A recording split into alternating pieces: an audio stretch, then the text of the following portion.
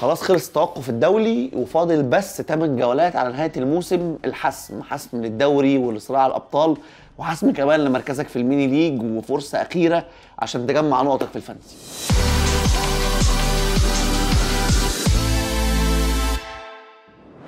ازيكم يا شباب؟ واهلا بيكم في حلقة جديدة من حطها في الجول يا ضياء والكلام عن فانتسي البريمير ليج والأسبوع 31 انتهى آخر توقف دولي في الموسم وقدامنا 8 جولات هيتلعبوا ورا بعض ما بين البلانكات والدبلات وماتشات الكاس. فرصة أخيرة عشان تجيب نقط فرصة أخيرة عشان تستعمل التشيبات اللي لسه فاضلة معاك. وتعالى كده على طول ندخل في الحلقة والفقرة الأولى والمراجعة النهائية وأهم النصايح قبل الجولة اللي جاية. أول حاجة هم ثنائي ليفربول. ترينت ألكسندر أرنولد ومحمد صلاح وطبعا لو أنت جايب ساديو ماني. أرنولد اتعرض لإصابة ما قبل التوقف الدولي والكلام دلوقتي عن إن هو ممكن يغيب ماتش واتفورد. محمد صلاح وساديو ماني الاثنين هيبقوا راجعين من تصفيات كأس العالم. في كلام أو في يعني احتمالات بتقول إن هم ممكن الاثنين يكونوا مريحين في ماتش واتفورد أو واحد منهم على الأقل. والسؤال هنا والأهم أنا دلوقتي لو عندي أرنولد وعندي صلاح أعمل إيه في الاثنين دول؟ هل أبيعهم وأرجعهم بعد ماتش السيتي مثلا؟ أكون استفدت بالجولتين دول بلعيبة تانية وأقدر أرجعهم بعد كده؟ خليني أقول لك إن أنت بالذات لو أنت ما عندكش wild card فبيع أرنولد ممكن. أقول إن لا بتخير لك أرنولد وتحط مكانه روبرتسون. الاثنين قريبين من بعض في السعر الاثنين بيلعبوا في ليفربول. والاثنين باكات وروبرتسون يقدر يغطي لك نفس النقط دي بس هيفضل بعد كده قدام في وجود بقى الماتشات اللي هي فيها دبلات في الجولة 33 و36 وغيرها هيكون عندك مشكلة صغيرة في حتة إن أنت ترجعه بتغيير زيادة. الأمر نفسه ينطبق على صلاح مع upgrade أعلى. ممكن تروح بايع صلاح لحد مثلا زي لويس دياز. راجل آه برضه هيبقى يلعب تصفيات في أمريكا الجنوبية وفي كلام رايح جاي. بس في رأيي إن أنت لو عندك صلاح استنى لحد اللحظة الأخيرة لأن ليفربول هيلعب أول ماتش في الجولة قصاد واتفورد وممكن تظهر لك تسريبات أو حاجة تقول لك تعمل إيه في القصة دي. أنا شخصيا بعت صلاح ما قبل الجولة 30 وعندي أرنولد في الفريق. مش هتخلى عن أرنولد هسيبه على الدكة. كفاية عليا قوي تغيير صلاح اللي أنا هعمله. ما بعد كده وهخلي أرنولد على الدكة واستبدله بحد تاني. ألعب بروبرتسون ألعب بكانسيلو ألعب بجيمس أي حد من دول بس هسيب أرنولد زي ما هو. عشان كفاية إن أنا بعت صلاح. الحاجة الثانية هي مين أكتر لعيبة عندها ماتشات في اللي جاي واللي جاي الكلام ده كله هيفيدك لو أنت بتلعب wild card دلوقتي أو ما بتلعبش wild card وبتخطط للي جاي. أكتر لعيبه عندها ماتشات في الجولات اللي جاية هو بيرنلي وإيفرتون وليستر سيتي عندهم 11 ماتش. أي فرقة عادية تلعب 8 الناس دي عندها 11 ماتش. أرسنال وتشيلسي عندهم 10 ماتشات. أستون فيلا برايتون كريستال بالاس ليفربول مانشستر سيتي مانشستر يونايتد نيوكاسل نورويتش ساوثهامبتون توتنهام واتفورد. عندهم تسع ماتشات. يعني عندك ثلاث فرق متاجل لها ثلاث ماتشات وفرقتين متاجل لهم ماتشين وفرق كتيرة قوي متاجل لها ماتش واحد. عندنا double في الجولة 31 هيلعب بيرنلي وايفرتون عندنا double كبير في الجولة 33 double كبير تاني في الجولة 36 وتوقعات ب double ماتش أو ماتشين كده في الجولة 4 و5 و7 و30 أفكر إزاي وأنا بعمل wild card أو أعمل إيه؟ أنا في رأيي إن فرقتك لو وصلت دلوقتي بشكل كويس وأنت معاك لسه free hit ممكن تتقل على wild card أصلا للجولة 34 كمان. تمشي فرقتك الجولتين الجايين عادي وفي الجولة 33 تلعب ال free hit في 34 تلعب ال wild card وتقدر تكمل بيه آخر أربع أو خمس جولات وكمان هيفيدك عشان تلعب ال bench boost في الجولة 36 لو فرقتك ما تسمحش عادي جدا تلعب ال wild card دلوقتي وتأمن نفسك على الجولات اللي جاية. بس هيكون عندك مشكلة إن ماتشات الجولة 36 مش هتبقى محددة بشكل نهائي. وإن كان في 10 فرق متوقع يلعبوا double game week وبالتالي فهيبقى عندك already عدد كويس من اللعيبة اللي بتلعب double game week أكبر وأهم حاجة بتحتاج تبص عليها في آخر 8 جولات دي هي الدوافع. مين الفرق اللي عندها دوافع من الموسم ومين اللعيبة اللي عندها دوافع فردية من الموسم؟ عشان دول غالبا بيطلع منهم حاجات extreme في نهاية الدوري. ليفربول ومانشستر سيتي بيتنافسوا على الدوري الإنجليزي. الفرق ما بينهم نقطة وفي مواجهة مباشرة ما بينهم في ملعب الاتحاد. لو هتسألني لعيبة ليفربول والسيتي ما بين الدوري ودوري الأبطال مؤكد إن هيكون في rotation، بس برضه مؤكد إن ال rotation مش هيكون بنفس القوة والكثافة دي، في لعيبة اللي هي الأتقل في الفرقة أو اللعيبة اللي ما فيش غنى عنها في الفرقة أعتقد إنها مش هتريح إلا لو في حاجة مضمونة. آه، ليفربول بيلعب واتفورد فماشي ممكن حد يريح زي صلاح زي ماني، لويس دياز حتى نفسه ممكن تلاقيه مريح وهو لسه راجع من ماتش صعب في تصفيات كأس العالم. لكن لعيبه مثلا زي روبرتسون روبرتسون لسه كان آه، في معسكر اسكتلندا وانسحب منه وبعد كده الراجل هيرجع سليم عادي فهيكون موجود. الامر نفسه ينطبق على لعيبة برضه مانشستر سيتي وإن كان دايما ال rotation أعلى في سيتي. لو هتسألني أنا على اللعيبة اللي ممكن تجيبها من ليفربول ومن السيتي هنتكلم في القصة دي باستفاضة أكتر قدام عن كل الفرق بس خلينا ماشيين الأول في دوافع الفرق نفسها. بعد كده صعود لدوري أبطال أوروبا عندك توتنهام ومانشستر يونايتد وأرسنال ثلاثة بينافسوا على الصعود لدوري أبطال أوروبا والثلاثة خرجوا من البطولات الأوروبية وبالتالي فرصتهم مقبولة جدا إن هم يكونوا موجودين ويكونوا كل أسبوع بيلعبوا ماتش واحد وبالتالي تقدر تعتمد على اللعيبة بتاعتهم. تقول لي فين تشيلسي؟ أقول لك تشيلسي في المركز الثالث لا هو هينافس على الدوري ولا هو هينافس على ال top four وبيلعب في دوري أبطال أوروبا. هل ده معناه إن إحنا نسيبه نتجاهل تشيلسي؟ لا خالص. تشيلسي عنده ماتشات سهلة جدا لحد آخر الدوري أعتقد ماتش أو اتنين بس هم اللي صعبين ممكن يكونوا آه، على تشيلسي. ولكن خلي بالك من حتة إن هيكون في rotation فدور دايما على اللعيب الأكثر ضمانا إن هو يكون موجود في التشكيل. يعني أنا بالنسبة لي جيمس هو أكبر مصدر نقط مثلا بس أنا أقلق منه يقعد على الدكة لو هو عنده ماتش في الأبطال فيلاعب روديجر أكتر. فممكن يكون روديجر أكثر ضمان حد زي تشالوبا مثلا يكون أكتر ضمان فخلي بالك دايما وأنت بتختار في اللعيبة اللي هيكون أقل عرضة لل rotation وأنا في رأيي إن اللعيبة كتيرة في تشيلسي هتكون معرضة لل rotation رغم ماتشاتها السهله فإغراء الماتش السهل هيخليك تروح تجيب لعيبة بس خليك دايما عندك قلق من ال rotation. الكلام بتاع تشيلسي ينطبق شوية على فرقتين تانيين وستهام وليستر سيتي. وستهام بينافس على الدوري الأوروبي هو في دور الثمانيه دلوقتي بيلاعب ليون وليستر سيتي بينافس على دوري المؤتمر الأوروبي. وستهام يمكن عنده شوية دافع إن هو يفضل مكمل ينافس عشان يكون موجود في مقعد أوروبي السنة اللي جاية. لو مش دوري الأبطال يكون الدوري الأوروبي ولكن في ناحية ليستر سيتي في الفريق في المركز ال 12 أصلا ودوري المؤتمر هو فرصته الأخيرة عشان يكون موجود في بطوله اوروبيه السنة الجاية. ده معناه إيه؟ ده معناه rotation يعني أنا عارف إن ويست هام الناس مش ال spot عليها بشكل كبير مع إن جارود بوين مصاب وباقي الفرقة مش في مستواها ودفاعهم كمان ضعيف لكن في ليستر سيتي مع ثلاث ماتشات زيادة متأجلة أعتقد إن أنت آه العين هتبقى عليها وهتبدأ الناس دايما تحاول تفكر في لعيبتها. فلو أنا هفكر في لعيبة من ليستر سيتي لازم نخلي بالي من الحتة دي وهنتكلم عنها أكتر قدام. على الهداف صلاح متربع على عرش الهدافين بعيد عنه بشوية هاري كين وماني وجوتا. فدول ممكن لعيبة يكون ليها هدف بالذات في رايي هاري كين اللي عنده أرقام بيكسرها ومنافسة على ال top four مع توتنهام. فهاري كين في رأيي هو تاني أهم لاعب في اللعبة دي كلها في الثمان أسابيع اللي جايين. بعد صلاح. على ال assist بيتنافس روبرتسون وأرنولد ومحمد صلاح ثلاثي ليفربول هم الأعلى صناعة للأهداف و already أنت عندك اتنين منهم على الأقل. في صراع على الهبوط بيبرز شوية فرق كده صعبة قوي الحقيقة. بيرنلي واتفورد إيفرتون ليدز يونايتد و برينتفورد. الخمس فرق دول كده عندك برينتفورد ملوش ولا ماتش مؤجل. فأنا في رأيي مش هروح أبص لحد من برينتفورد. يمكن تخطف إيفان توني أو كريستيان إريكسن في جولة. ليدز يونايتد الماتشين الجايين قصاد ساوثهامبتون وواتفورد. فممكن أخلي عيني على رافينيا. واتفورد بلا هدف. لو عندي فوستر هسيبه معايا.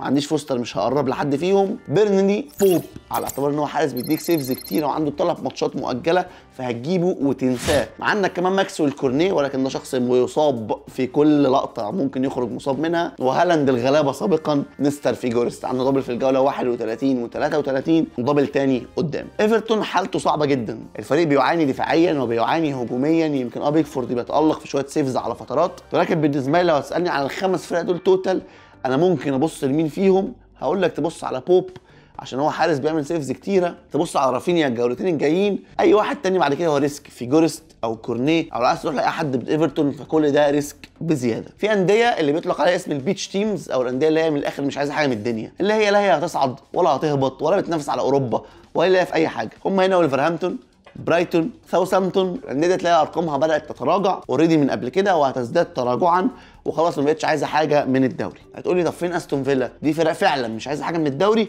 بس ما زال لسه عندها حاجة. أستون فيلا مع جيرارد لسه مدرب في أول سنة راجل بيجرب عشان يوصل لأفضل خطة لعب ومهم جدا يفضل يكسب ويكتسب ثقة الجماهير. الكلام نفسه بينطبق على باتريك فييرا مع كريستال بالاس اللي جاي في أول موسم ليه وفي رأيي هو مشروع جديد تماما على كريستال بالاس اللي إحنا كنا عارفينه في السنين اللي فاتت فعنده نفس القصة دي فممكن تبقى عينك عليهم. في رأيي أنا شخصيا لو أنت وصلت مع فليب كوتينيو للنقطة دي ما تبيعوش لآخر الموسم.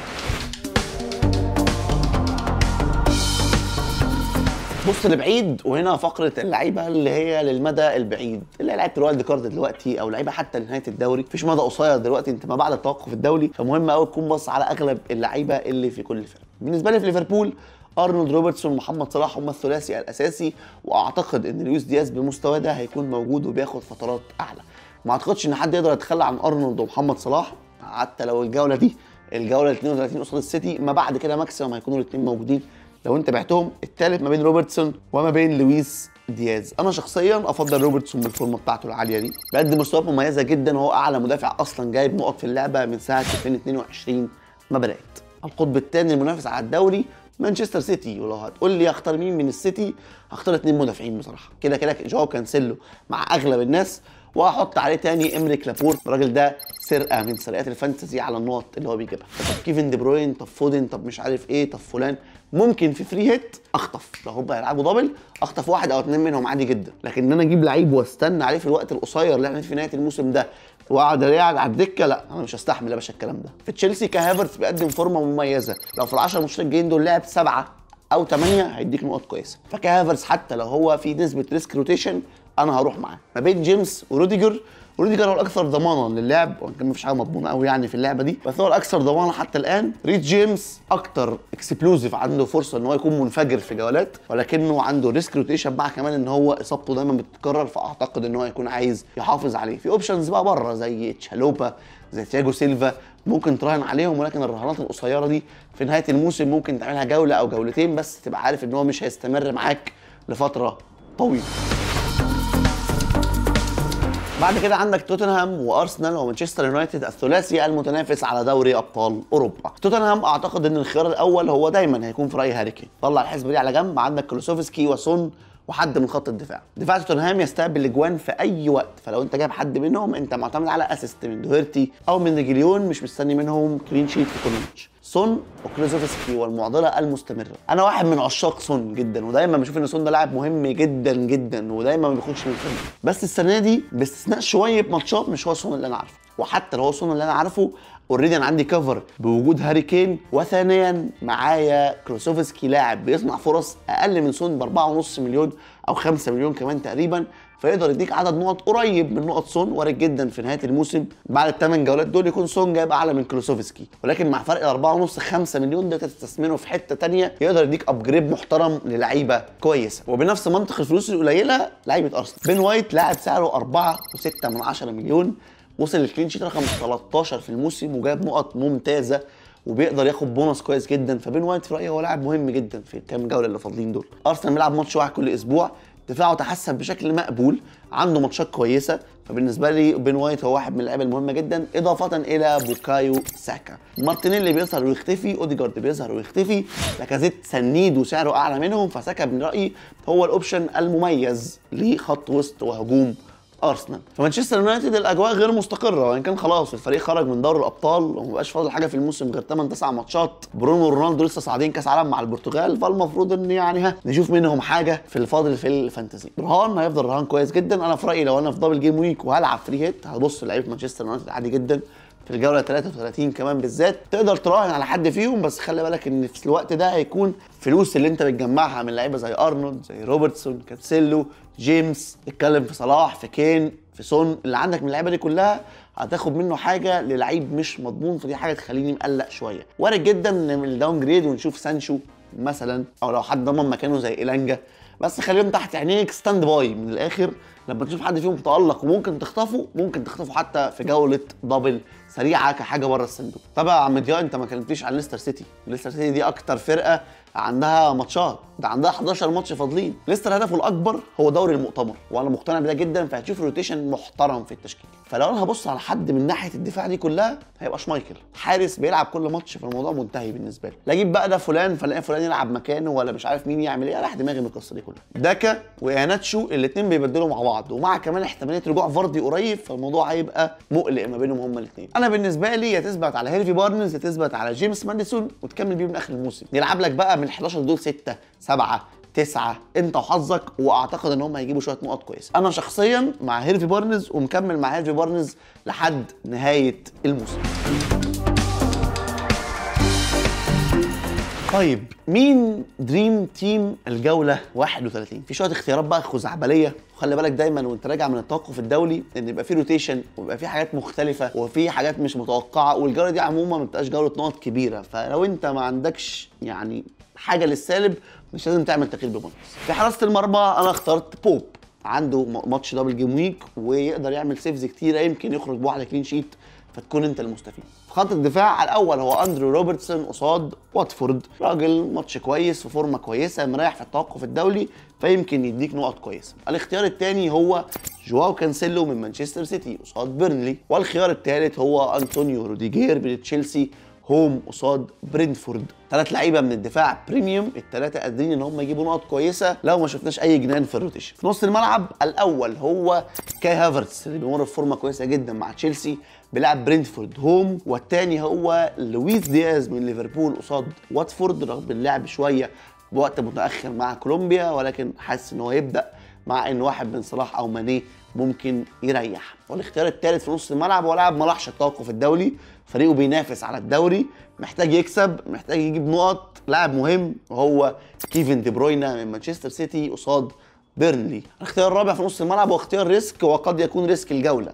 هو ليوناردو تروسارد مع برايتون قصاد نورويتش في ملعبه فريق متهالك تماما وليوناردو أعتقد ان هو يقدر يسجل في فريق زي ده. في الهجوم عندنا ثلاث أسماء.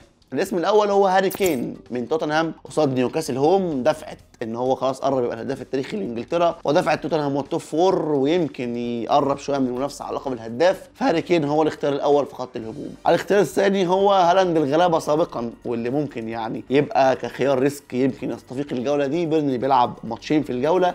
وهو في جورست الاختيار الثالث والأخير في خط الهجوم هو الصاعد لكأس العالم. أخيرا كريستيانو رونالدو من مانشستر يونايتد هوم قدام ليستر سيتي. دفاع ضعيف ويستقبل كتير من الكور العرضية. الكور الرئيسيه ما بعد الصعود لكأس العالم يمكن يكون رونالدو واحد من اللعيبة اللي هتسجل الجولة اللي جاية. كابتن مين بقى في الجولة اللي جاية دي؟ الجولة الجاية جولة صعبة. يعني هي جولة single في رأيي مش جولة double خالص لأن بيرنلي وإيفرتون صعب تكبتن حد منهم. أنا مستبعدهم أصلا الاثنين صلاح عنده risk rotation فدي حاجة أكبر وأكبر كمان وخليك متابعها على اخر الوقت يعني. فمين كابتن الجولة اللي جاية؟ أنا هحط هاري كين الخيار الأول. form ة كويسة وفريق نيوكاسل خلاص ما بقاش عايز حاجة قوي من الموسم بعد ما ضمن البقاء. فيمكن يكون هاري كين يكمل form ته الكويسة فهو الاختيار رقم واحد بالنسبة لي. الاختيار الثاني هو كاي هافرتز من تشيلسي قصاد برينتفورد في ملعبه. الاختيار الأخير واللي ممكن يكون بعيد شوية أو مش في دماغ حد أو ما حدش مشتريه دلوقتي هو كيفن دي بروين من مانشستر سيتي قصاد بيرنلي. الراجل كان رايح في التوقف الدولي وعنده فرصة إن هو ينطلق في الجولة اللي جاية. وبس كده ده كده كان كل اللي عندنا في الجولة 31 محاولات للم أغلب اللعيبة والفرق اللي عندها دوافع للفترة اللي جاية. ما تنساش تعمل like لو أنت على فيسبوك أو على يوتيوب. retweet على تويتر وتعمل لنا subscribe عشان يجيلك كل اللي جاي من أول بأول. ونلتقي قريبا بإذن الله. في حطها في الجول يا ضياء سلام.